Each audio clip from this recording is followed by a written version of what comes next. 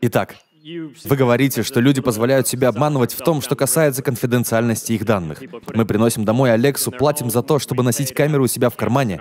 Я думаю, что для среднестатистического человека, не подкованного технически, все это не похоже на сделку о конфиденциальности.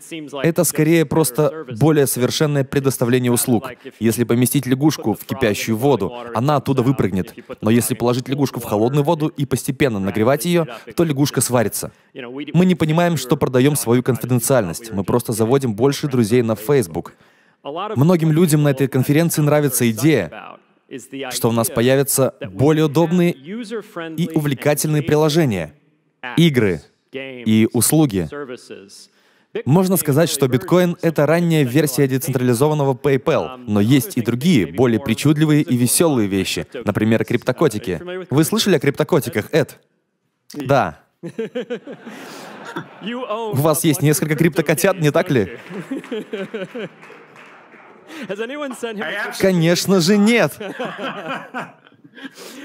Но я знаю людей, у которых они есть. Идея заключается в том, что мы можем предоставлять услуги, которые будут более интересными и важными для людей. Например, деньги, а не просто разговоры, предметы коллекционирования, обеспечивающие взаимосвязь а не просто возможность посещать веб-сайты через Tor. Возможно, это и мотивирует людей на использование новых систем, которые сложнее, чем привычные централизованные стороны. Например, использовать Tor достаточно сложно. Еще один подход заключается в улучшении пользовательского интерфейса. Протокол мессенджера Signal лучше, чем GPG. Обеспечивают ли они одинаковую степень безопасности? Трудно сказать. Но сегодня все больше людей используют мессенджер-сигнал. Что бы вы сказали сообществу разработчиков, которые хотят создавать децентрализованные приложения? Что вы скажете о недостатках или преимуществах этого подхода? И считаете ли вы, что мы постепенно можем устранить Amazon или Google из этого уравнения, превратив их в такие протоколы, как биткоин или эфириум? Да, то, о чем мы говорим, это разговоры о мечтах. Открытое общество зависит от концепции конфиденциальности. Люди говорят, что если вам нечего скрывать, то вас это не должно беспокоить. Но полагать, что о конфиденциальности не нужно заботиться, если тебе нечего скрывать, это то же самое, что не беспокоиться о свободе слова, потому что тебе нечего сказать. Мы не понимаем главного. Конфиденциальность связана не с тем, что нужно что-то скрывать. Конфиденциальность нужна для защиты. Это открытое общество, свободное общество, которое понимает ценность индивидуальности, понимает, что эта ценность индивидуальности заключается в том, что мы все разные, что каждый из нас незаменим. Именно мнение меньшинства провоцирует прогресс. Если бы все думали одинаково, если бы все верили во что-то одно, если бы мы все придерживались единого мнения, то не было бы всей этой великолепной ереси против традиционной системы новых идей. Итак, что же это значит в контексте протоколов коммерции и децентрализации? Текущая проблема интернета заключается в том, что все наши транзакции безоговорочно связаны стандартом метода действий с нашей личностью. Вы платите за услуги интернета, используя свое настоящее имя, регистрируете подключение на ваш домашний адрес. Вы делитесь личной платежной информацией. Все, что попадает в интернет-соединение, может привести к вам. Дело не в том, что вы покупаете книги на amazon.com, а Джефф Безос хранит ваши данные в какой-то базе данных. Дело в тех, кто имеет доступ к информации о подключении к Amazon. Это может быть ваш поставщик услуг интернета или кто угодно, кто может получить доступ к этой линии. Шифрование обеспечивает более высокий уровень защиты. Но пока наши транзакции в интернете привязаны к нашей личности, конфиденциальность отсутствует. Нам нужно изменить интернет-транзакции. Сейчас их можно сравнить с тем, как мы идем на заправку и покупаем бутылку воды с помощью кредитной карты.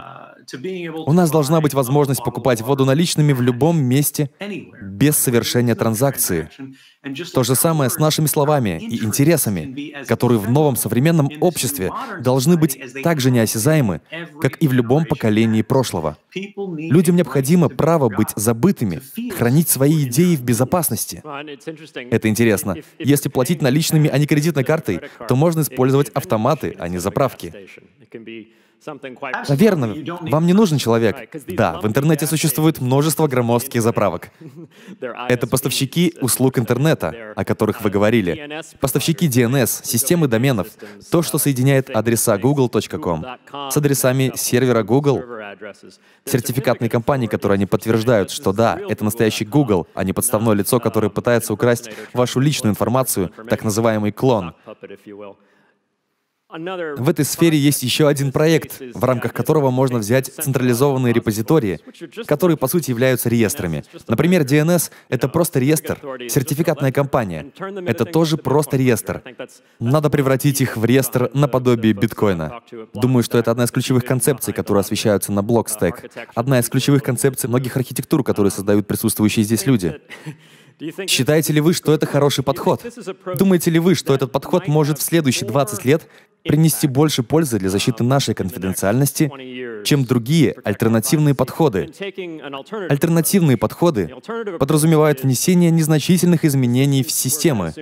Они также останутся уязвимыми, будут иметь централизованных посредников. Но, возможно, мы сможем вновь участвовать в демократическом процессе, чего хотят молодые люди, увлекающиеся технологией и разбирающиеся в ней заставить правительство немного подвинуться, использовать демократию, правительство и конституцию, чтобы вернуть конфиденциальность. Будет ли это более продуктивным, чем создание новой архитектуры? Оба эти подхода имеют свои серьезные проблемы. Да, это очень хороший вопрос. Что же нас спасет? Усовершенствуем ли мы нашу технологию? Спасем ли мы нашу демократию? Демократия переживает проблемы во всем мире. Это нетрудно заметить. Все больше стран, которые традиционно считались чемпионами свободного, либерального порядка, сегодня отчаянно борются с очень темными силами внутри страны. И вы все это видите. Это происходит внутри вашей страны. И так как это происходит во многих разных странах с разными системами, возникает вопрос, что же конкретно сейчас изменилось и как мы можем это исправить? Я не политик, поэтому не хочу предлагать здесь свои решения. Но я считаю, что, во-первых, нужно понять, что только мы сами можем решить эту проблему. Мы не можем ждать, пока кто-то решит ее за нас. С такого рода параличом я столкнулся, когда работал в АНБ и увидел, что мое правительство нарушает права всех людей в моей стране и в других странах мира. Я был удивлен, что мы еще ждем, что кто-то может решить проблему за нас. Мы не можем ждать. Я видел, как избирался Барак Обама. Он проводил кампанию, основанную на прекращении необоснованного прослушивания телефонных разговоров. Он говорил, что мы не такие, мы больше не будем этим заниматься. В действительности же он не только не прекратил эту деятельность, но и расширил ее. Он увеличил количество атак дронов, незаконных убийств и многое другое. Но дело не в Обаме.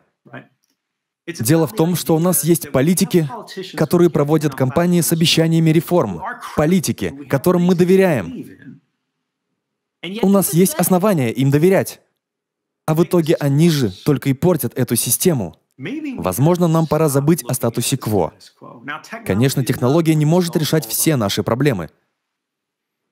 Но если посмотреть на законодательство всей истории цивилизации, как на гаранта, единственного гаранта прав в обществе, то мы увидим, что законодательство плохо справляется со своими обязанностями гаранта прав.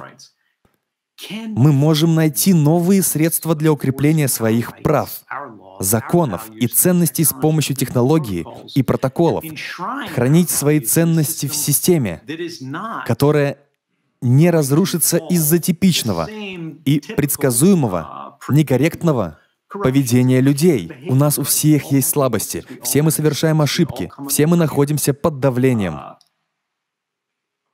Но машины отличаются от нас. Да, существуют уязвимости, и да, мы можем все испортить.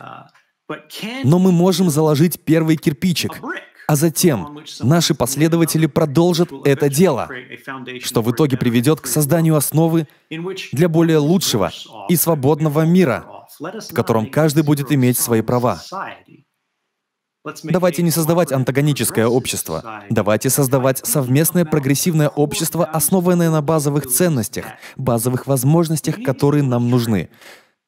Нам нужна возможность свободной и конфиденциальной торговли. Нам нужна возможность связываться друг с другом без страха, без опасения, что за нами следят. Это не значит, что слежку нужно прекратить. Правительство может выполнять свои обязанности, пока мы не перейдем в новый, более совершенный мир, когда необходимость в старом мире отпадает. Но сегодня мы не знаем, как должен выглядеть этот мир. Нам известны только проблемы, которые есть сегодня.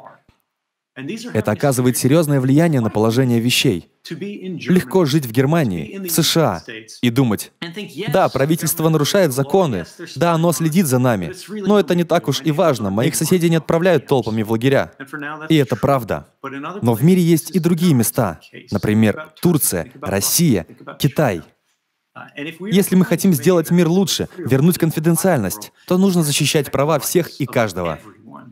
Если мы будем делать это выборочно, и любое учреждение сможет забирать эти права в зависимости от случая, будь то правительство или корпорация, или кто-либо еще, то неизбежно они начнут это делать, и чаще всего нечестным путем. Основываясь на истории, можно сказать, что зачастую эти учреждения на свой выбор решают — нарушать определенные права своих оппонентов или нет, независимо от того, делают ли последние что-то не так. Вопрос в том, получают ли они одобрение или нет. Больше информации о биткоине и свежие новости на сайте bitnovosti.com. Подписывайтесь на наш канал, ставьте лайки, рассказывайте друзьям. Поддержите проект, переведя немного биткоинов по адресу на экране. Это поможет продвижению биткоина и его распространению.